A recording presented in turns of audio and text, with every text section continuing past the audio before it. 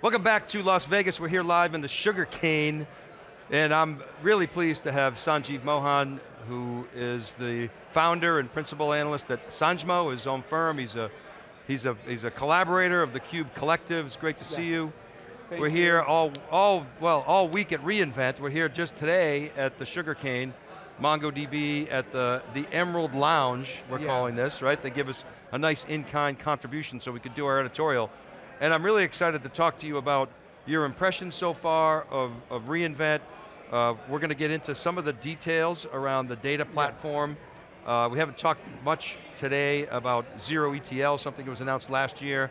Sounds like it's finally coming to help uh, to simplify the pipeline. Yeah, it's, And, uh, and I want to talk about Mongo and what they're doing with, uh, with, with vector search yeah. and what the impact is going to be on the market. So first, your impressions on the overall event.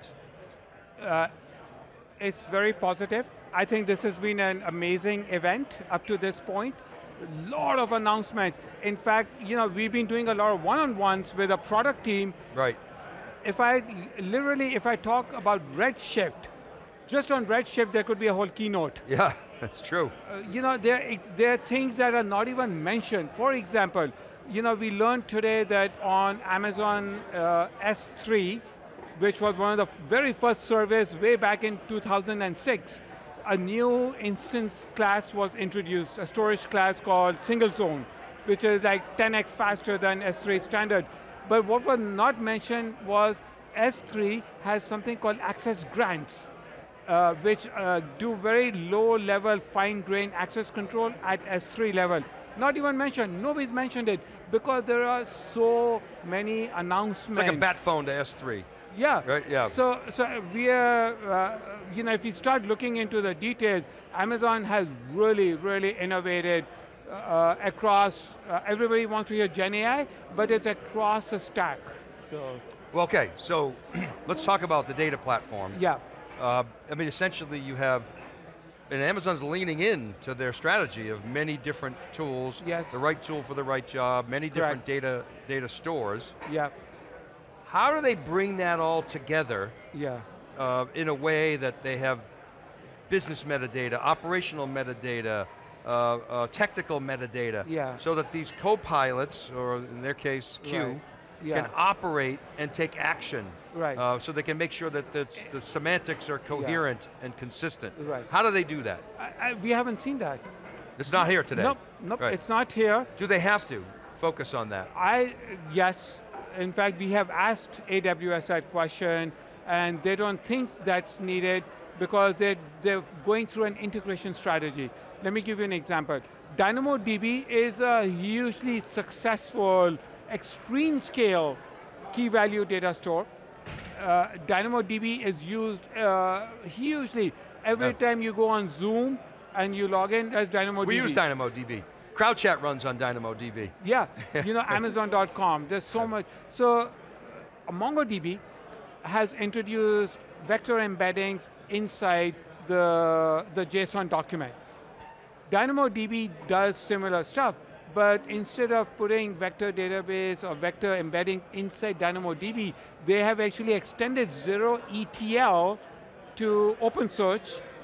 OpenSearch, as you know, is an open source version of Elastic, which already has inverted search. Now it has vectors, so you can even do semantic search.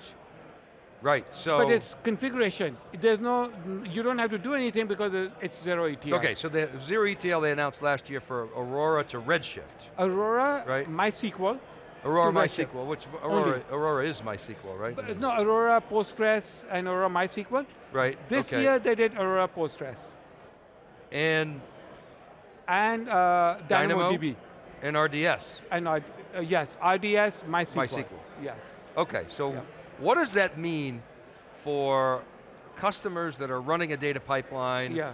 where they're doing a lot of ETLing, a lot of standing around waiting, Correct. a lot of wrangling of data, what does that mean for them? Yeah, so, so what it means is, if you, uh, we just talked about DynamoDB. So DynamoDB is uh, literally the way you get to DynamoDB is by doing gets and puts If you want to do a data warehouse kind of an aggregation. Object store. Yeah, how do you do uh, that? But now with zero ETL, it Yeah. becomes easier because now you can do into Redshift, no, no uh, just configuration and it's done for you. And all of a sudden now you, your data is available in Redshift for aggregations. Oh, okay. Yeah. Let's see. Um, I want to ask you about your criteria that you wrote. You, you did a Medium post, um, and you were talking about the various criteria to evaluate uh, AI generally, but specifically uh, vector, vector database Yeah, and that functionality. Mongo, they haven't announced the general availability yet, but they announced vector search. yes. It was amazing to see uh, the survey from uh, Retool. from from Retool, Yep. which showed it was uh, sort of toward the end. Yeah. It showed 20% of 1,400 respondents uh, actually were deploying vector databases. We were one. I was actually thrilled Yeah. to see that such a low Yeah. number. Uh, We didn't take that survey. Well, maybe we did, not to my Yeah. knowledge.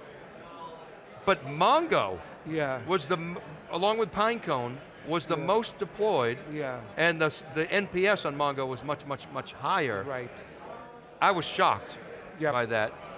So my question is, first of all, were you surprised by that, number one? Number two is, does it make sense for customers to just, that are, that are Mongo customers, to, to consolidate Yeah. onto the Mongo search, and what do they lose by doing so? So I, I'll ask you a hypothetical, like I'll ask you a rhetorical question. Okay. How much do you think the vector search capability of MongoDB costs? I, I hope it's free. It's free. Yeah. Uh, Why is it free? Because it is not a SKU. Right. Pinecone is an entire product. Many database vendors are selling vector search as a separate capability. And I think this is where MongoDB really shines because- We use Milvus, it's Yeah. open source, Correct, but- and I don't think we pay for the, the Zilliz service, right, right. but we So- probably could or should yeah. much rather use Atlas. Yeah. Right? So, so you know the the beauty of what MongoDB, and I, I'm not propose, I'm not like a spokesperson for MongoDB. I'm just saying that MongoDB has a, has some very distinct advantages because their foundational database is really strong. For example, uh, they introduced uh, earlier on the separation of search nodes.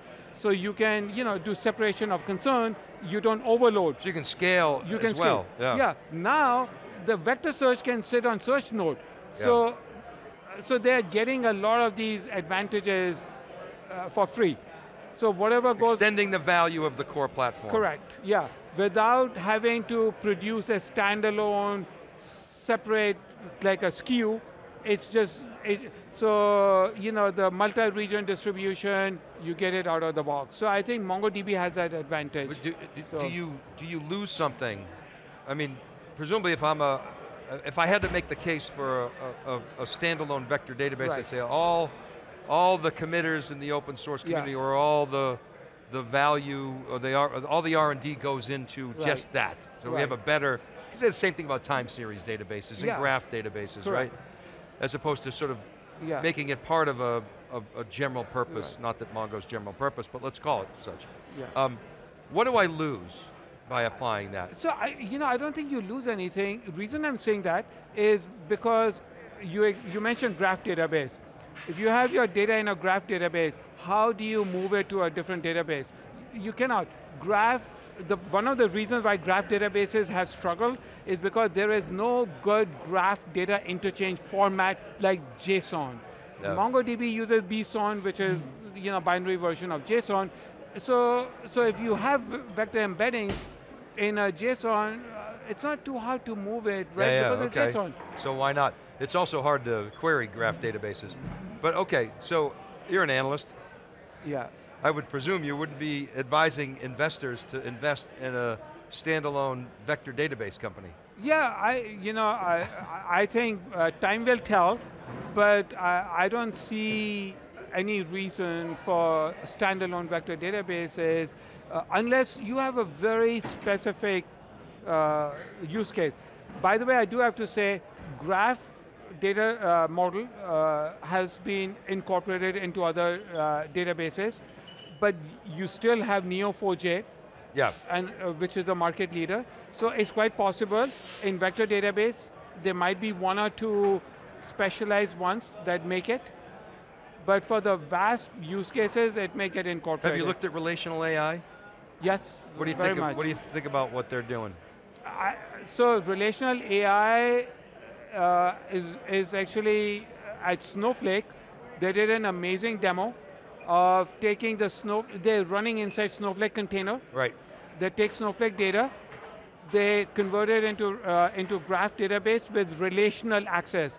You just said the big problem with Hard to graph query. is query. This makes it easy to query. You could have Yeah. the flexibility of SQL Yeah. with the expressiveness of a graph database Correct. combined. Yes. That seems like it's very powerful. Does Yeah. it work, to your knowledge? yeah, yeah, definitely. Wow, so Yeah. that could be, Yeah. that could portend to Yeah. support future data apps Yep. that are intelligent. So that's kind of interesting. Speaking of uh, vector embeddings, so Adam Selipsky talked about Q today, which is Yes. essentially their co-pilot. Yep. And he said the semantic knowledge, or maybe it was Matt Wood. I think it was Matt Wood. Said the semantic knowledge is comes via vector embeddings. Yes. Okay, makes sense. You, yeah, you need it, yeah. But are those vector embeddings? Yeah. Are, are, how do you take advantage of those in different different data stores across Amazon? Are they separate for each? Is They, there? they're separate. Okay, Yeah. so that's the problem we started to talk about earlier. Yeah. They, do they have to address that problem? You're saying that Amazon doesn't think that it has to solve that right. problem. So this is how they solved it. It's actually, it's a brilliant use case. What they're saying is, let's say you are in Aurora, okay, and, uh, and you want to do uh, any use case of LLM. It could be summarization, sentiment analysis. So what they're saying is, what you do is you create a user-defined function that you, in, so the developer will do it, not the end user doesn't need to know this. The user-defined function is going to make an API call to SageMaker Jumpstart, which is a model garden, if you may, of, or of, uh, of Titan, which is their model, and, and a bunch, Hugging Face, Cohere, Anthropic, all of that.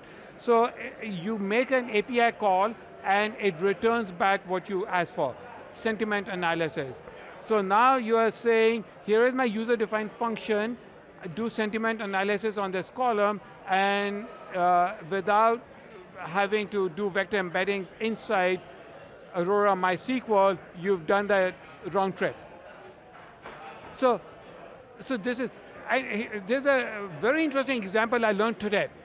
Uh, in, in a country like India, for instance, there are diff, uh, dozens of languages, dozens of languages. yeah, yeah, just inside, right. Yeah, just in one country. country. So if you're a loan origination officer and you get some document in a local language, you can call an LLM and say translate it into English. And they'll do it out of the box. So I think this is a strategy they are pursuing, which is through SageMaker, so Redshift ML, Aurora ML, and that way, it's a, it's a different take. How many languages do you speak? I think about four or five. Have yeah. you have you tested the efficacy of the translation? Uh, not yet. No. No. Yeah. You know, we to- Yeah. play a lot with the Cube Yeah. AI and the translations. They're still, Yeah. they're okay. Yeah. You know, they're, they're not, I, and that's for P9 languages. I wonder how they do Yeah. in, in so India. so we had a, a panel with travelers, and uh, Travelers Insurance CIO Yeah. was telling us how uh, they are uh, they've got claims and policy and how they're bringing it together using LLM. So I asked her two questions. One was, how do you guarantee accuracy? And she said, we have to have a human in the loop right now. The human in the loop will, will say, yes, correct, or not, and if it's not, then they correct it. That's accuracy. My second question to her was, so what is the ROI? Are you seeing any benefit? And she said if it takes, let's say, X amount of time, Yeah. and they're seeing that time come down, That's ROI. instant ROI, instant. Yeah, and I, I don't have a problem with human in the loop. Yeah. As long as you can get that compression Correct. in time, which is exactly what you're saying. Correct, yeah. What do you want to see, last question, because I know you got to go. What do you want to see from AWS that you haven't seen at this event? I think it's, uh, they need to continue on the simplification. Like, uh, we spent an inordinate amount of time yesterday, when you were there, Yeah. and, and this morning, on silicon. Yeah. You know, Inferentia 2, Graviton 4, Trainium uh, 2, and uh, even Adam Selipsky said we have an advantage over all other cloud providers. They haven't even started. Well, that's not true, Yeah, it's not true. You know. So, so I, I think He said that a lot in the keynote today. yeah, You know, this is the only place you can get this. yeah. It's like, well, we are on fourth generation in uh, fifth year, and others are, have not even started. I think uh, there is just too much emphasis on the nuts and bolts and building blocks, and I still don't see enough on uh, the business use case side. So. interesting. I mean, but that is their sweet spot, is the Yes, infrastructure. correct. And we had, we had I don't know, did you see the Peter DeSantis keynote last night? No, I, I, I Well, you go. missed 20 minutes on, uh, on synchronizing clocks across. Oh, I heard you know, about it. Which, I mean, Yeah. Google Spanner solved that 10 years ago, and IBM Yeah. Global Sysplex as well. So Yeah. that 20 was minutes. Easily, easily, Wow. easily 20 minutes. So there's a It was interesting for those of us who care Yeah. about such a thing, Yeah. but it was educational, I should say. So talking about that, Too much time. Yeah. we also learned that six or so low uh, Earth orbit satellites have been launched. Six of them. Yeah. You know, Kuiper. K U I P E R. Kuiper. Kuiper. Yeah, So Kuiper is now, and the goal is 30,000? yeah, yeah. So that's kind of cool. It is cool, but uh, but today we heard we will get internet into every pl- part of the planet, which is missing. What is uh, Elon Musk doing? Yeah, right, right, Starlink. Yeah, right. so, uh, and uh, OneWeb is another company. Yeah, yeah. So again, it sounds like they are going to conquer Well, they're competing in rockets, they might as well compete in satellites. Yeah. Sanjeev, thanks so much for coming was Thank you so much. Such a All right, keep it right there. We'll be back for SuperCloud 5. Jerry Chen is, gonna, is in the house. He's coming up shortly with John Furrier and myself. We're here in Las Vegas inside the Sugarcane at the Emerald Lounge. Right back.